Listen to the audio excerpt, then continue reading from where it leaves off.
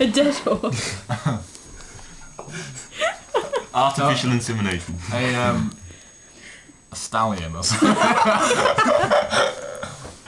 Uh, A goat.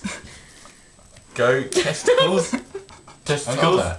Equip. Otter. How did you get that? How did you actually get that?